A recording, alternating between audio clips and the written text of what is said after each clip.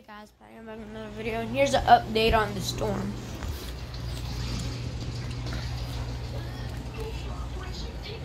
Getting, just got so much closer. I'll still keep you updated.